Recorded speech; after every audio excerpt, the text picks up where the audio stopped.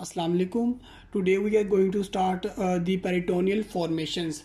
This is a part of the abdomen anatomy and the formations mean actually the specific structures or the layers which are present in the anterior lateral abdominal wall. Okay. So the first structure which we are going to discuss is the mesentery. Okay. First of all we will write it here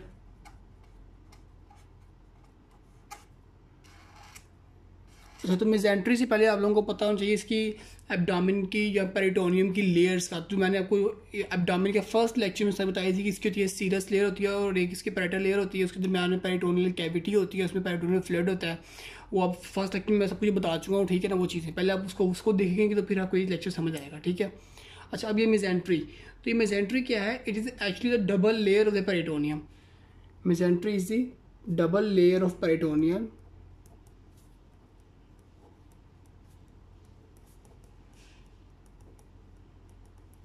formed by the invagination of structures.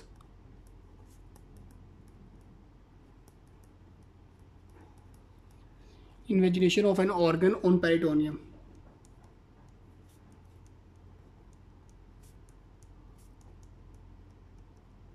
मतलब कि एक organ का ना peritoneum के ऊपर उसका impact क्या है। उसका जो एक वो इम्प्रिंट नहीं होता उसकी जिस तरह फॉसल्स होती हैं, वो स्टोन के ऊपर उसका एक इम्पैक्ट बन चुका होता है। इस तरह ये भी एक इम्पैक्ट बना होगा। अभी मैं आपको इसको जो है, उसको पिक्चर भी दिखाऊँगा, फिर आपको ये अच्छी तरह वो भी समझ आ जाएगा, ठीक है? तो ये जो है मिजेंट्री इसका एक्चुअल फ़ंक्शन क्या है? It will serve to connect the intraperitoneal organs with the body wall so we will write it here it will connect intraperitoneal organs.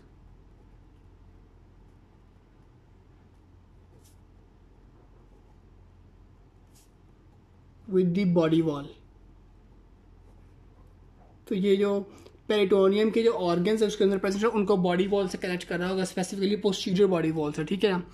और उसी के साथ जो है it will also transmit the neurovascular bundle तो क्या या इसके ज़रिए क्या होगा? न्यूरोवस्कुलर कम्युनिकेशन हो रही होगी बॉडी वॉल और उन ऑर्गन के दरमियान में। वस्कुलर कम्युनिकेशन अगर इसकी एग्जांपल्स देखें तो हमारे पास मिजेंट्रीज में जो मेन आती है that is the small intestine mesentery small intestine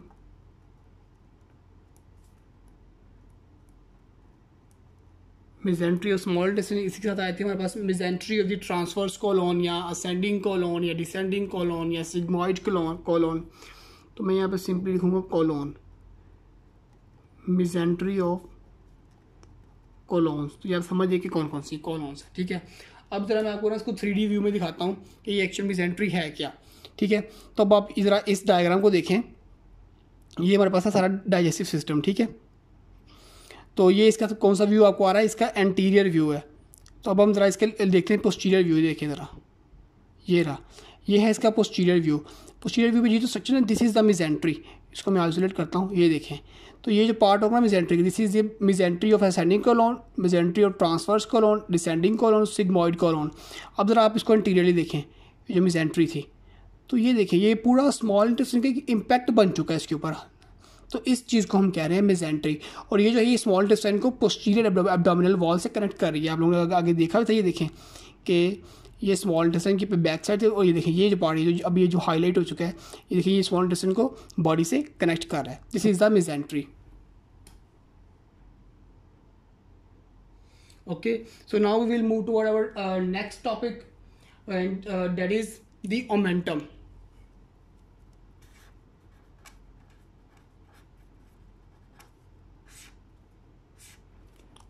omentum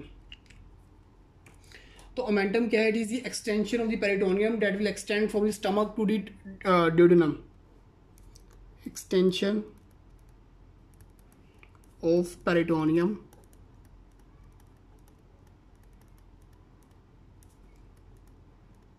that extend from stomach and duodenum to adjacent organ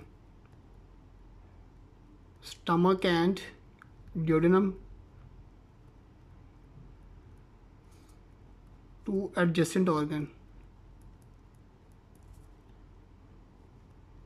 मतलब कि स्टमक और ड्यूड्रम को दूसरे ऑर्गन से कनेक्ट कर रही होगी, उसको हम कहेंगे ओमेंटम तो ओमेंटम हमारे पास होते हैं दो greater omentum and the lesser omentum first of all we will see the greater omentum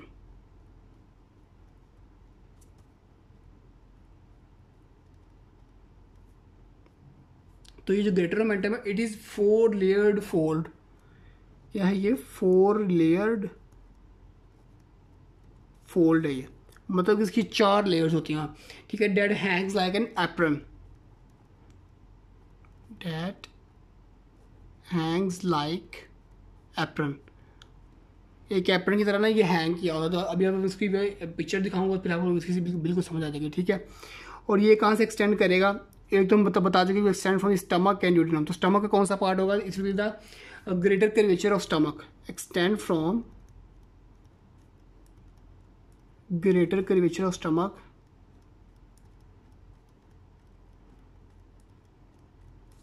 curvature of stomach and superior part of the duodenum और proximal duodenum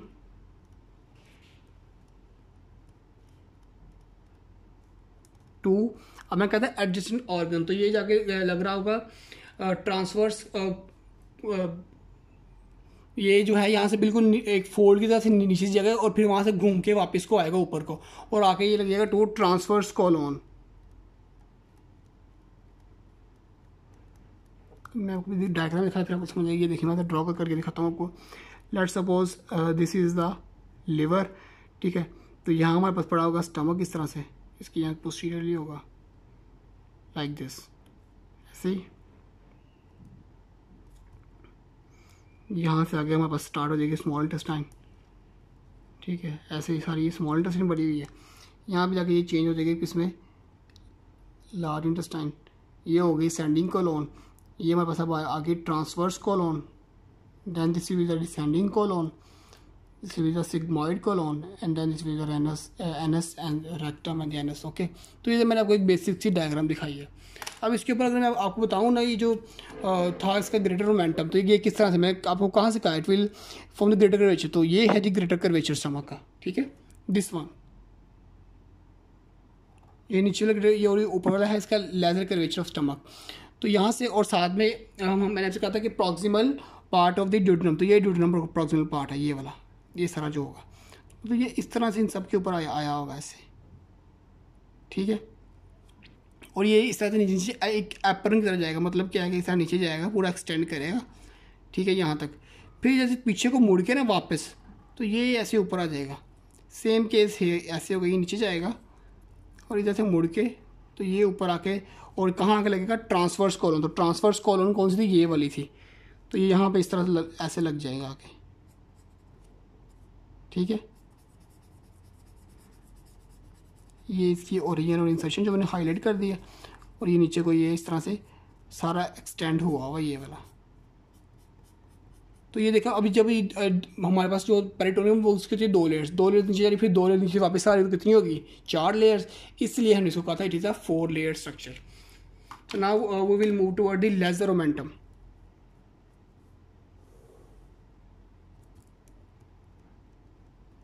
lesser momentum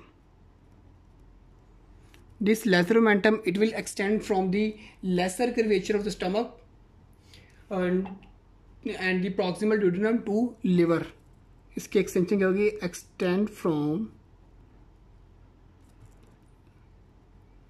lesser curvature of stomach and proximal duodenum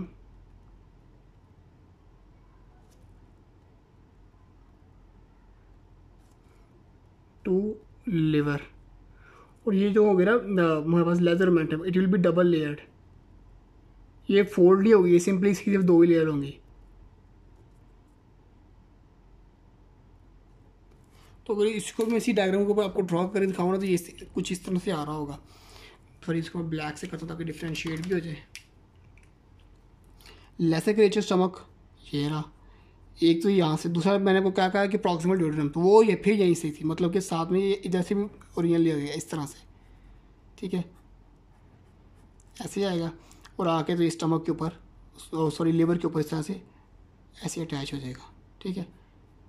ये जो मैंने आपको black में दिखाया है ना, ये कुछ इस शेप में आके अटैच होगा, ये होगा हमारे पास लेसर मोमेंटम इसके दो पार्ट्स है, एक इसका मेम्ब्रेनिशियस पार्ट है, ये ऊपर वाला, और ये नीचे इसका एक फ्री पार्ट है, ये जो नीचे वाला पार्ट है। ये अगर ये लिगामेंट्स भी हैं, आगे हम इसको इसी को डिस्कस करते हैं कि इसके लिगामेंट्स कौन कौन से हैं। ओके वो हम नेक्स्ट पेज जाके देखते हैं। So now we will see the peritoneal ligaments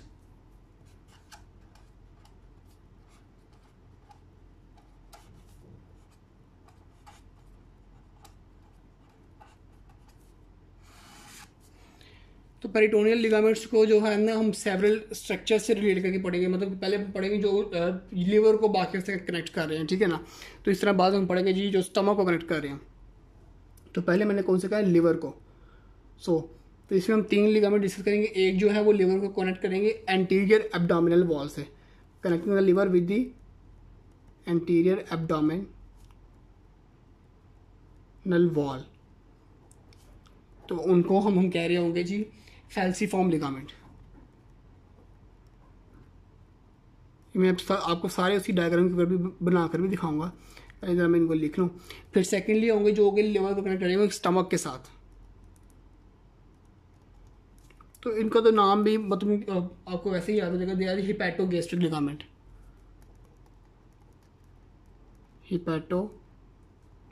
hepatogastric hepato liver gastric stomach hepatogastric ligament तो ये आपको याद होगा कि ये ये लीवर को स्टमक से कनेक्ट कर रहे हैं। ठीक है?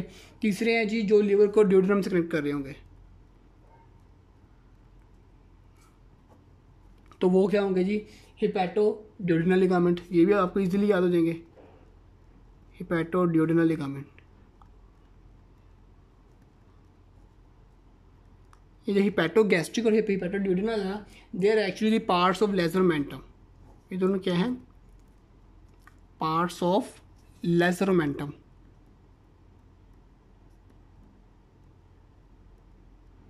ठीक है, मैं आपको इसकी दिखा दिखाई हूँ, चीज़ें, सारी। तो ये देखें, सबसे पहले मैंने आपको एक पढ़ाया फैल्सीफॉर्म लिखा वो क्या होगा, वो ये जो है ना हमारे पास लिवर इसके कुछ ये ऐसे पड़ा होगा स्ट्रेट और वो जो है यहाँ से इसको कनेक्ट करा हुआ एंटीरियर एब्डामिनल वॉल के साथ। सेकेंड पढ़ा था हिपैटो गैस्ट्रिक हिपैटो मतलब लिवर गैस्ट्रिक में मतलब वो स्टमक तक जा रहा है सॉरी हिपैटो स्टमक और गैस्ट्रिक लिवर तो मतलब कि स्टमक से लिवर तक आना तो वो कौन सा लिगामेंट आप देखें, ये देखें, ये स्टमक से लीवर तक नहीं आ रहा, ये पार्ट इसका जो मैंने आपका जो मेमोरीशियस पार्ट है। तो वो यही, ये लेजर मेंटम को हम कह रहे हैं, इस पार्ट को हम कह रहे हैं जी हिपैटो गैस्ट्रिक लिगामेंट फिर मैं मैंने आपको बताया हिपैटो ड्यूटिनल लिगा जो कि ड्यूटिनम को लाकर कनेक्ट करेगा लिवर के साथ। अब वो कौन सा चीज़ कर रही है? ये देखें, ये वाला, कि ये ड्यूटिनम है, ये लिवर है। तो वो इसका जो इन्फीरियर जो फ्री पार्ट था, इसी को हम कहेंगे जी हिपैटो ड्यूटिनल लिगामेंट ठीक है? अब आपको अच्छी तरह से याद हो जाएँगे इस तरह से। अगर आप इस डायग्राम को इसके साथ रिलेट कर पढ़ेंगे, ठीक है? नेक्स्ट फिर हम पढ़ लेते हैं स्टमक के। तो इसकी भी तीन लिगामेंट्स हम देखेंगे। फ़र्स्ट इज़ के जो स्टमक को कनेक्ट करेंगे इन्फीरियर सरफेस ऑफ़ डायफ्राम के साथ। Inferior surface of diaphragm. उनको हम क्या कहेंगे जी? गैस्ट्रोफ्रेनिक। इजी नेम आपको याद है कि phrenic is always for the diaphragm gastrophrenic ligament next are which are connecting stomach with spleen तो इनको हम कहने होंगे जी गैस्ट्रोस्प्लेनिक लिगामेंट ये भी नेम इजी है, याद हो जाएगा आपको। ठीक है? Third and the last are the which connect the stomach with the transverse colon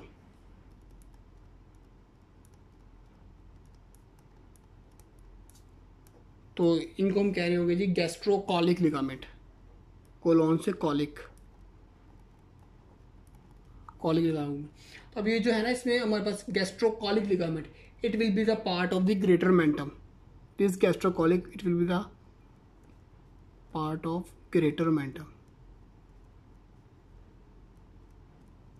इसका कौन सा पार्ट मैं आपको अभी दिखा दूँ? मतलब ये क्या कर रहा है गैस्ट्रोकॉलिक आप पहले ये देखिए कि ये स्टमक को कोलोन के साथ कनेक्ट कर रहे हैं ट्रांसफर्स कोलोन के साथ।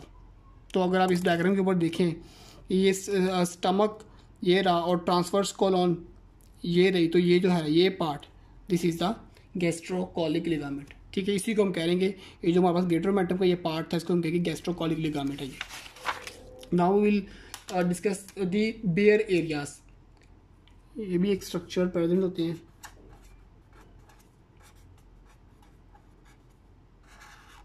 तो ये bare area section this is part of the intraperitoneal organs not covered with the visceral peritoneum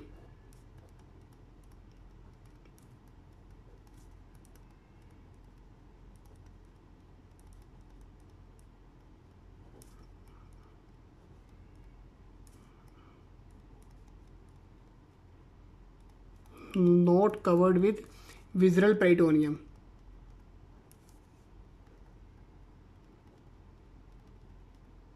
ठीक है? और इन बेड एरिया का एक्शन ऑफ़ काम के क्यों होते हैं they will allow the entrance और the exit of the neuromuscular structures to these organs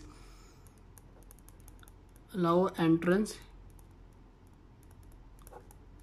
और exit of neuromuscular structures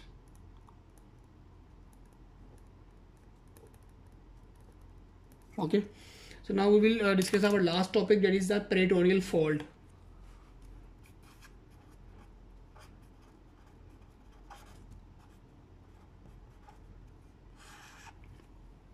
peritoneal fold it is a reflection of the peritoneum on the body wall by the underlying vessels मतलब ये भी जो vessels पड़ी है ना वही उसको एक reflection दे रही होंगी एक उसकी आप समझ लो इसके surface anatomy दे रही होंगी vessels की ठीक है इसी वर्डिंग आप ये समझ लें it is a reflection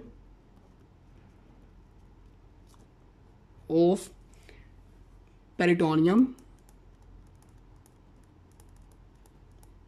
on body wall by the vessels.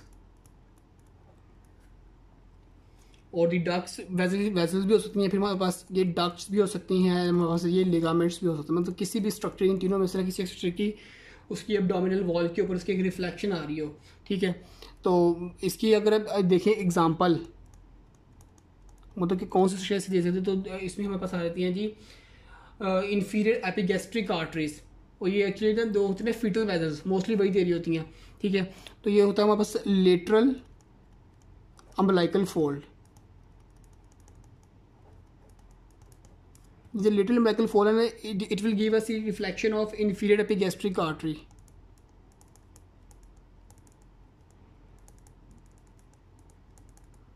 ठीक है? तो इन्फीरियर एपिगैस्ट्रिक आर्टरी के मेरी रिफ्लेक्शन दे रहा है वो लेटरल अम्बलाइकल फोल्ड ये उसके एक सरफेस एनाटमी की टाइप चीज़ है आप इसको समझ जाइए तो इजीली आपको याद हो जाएगी ठीक है? तो ये जो था आज के जो हम देख लिया कि पेट्रोल फॉर्मेशन जो स्ट्रक्चर्स प्रेजेंट है तो होप्सो आप लोगों को समझ आ जाएगी आ गई होगी कि किसी पॉइंट की भी, भी नहीं आई तो आप लोग कमेंट्स में पूछ सकते हैं. Thank you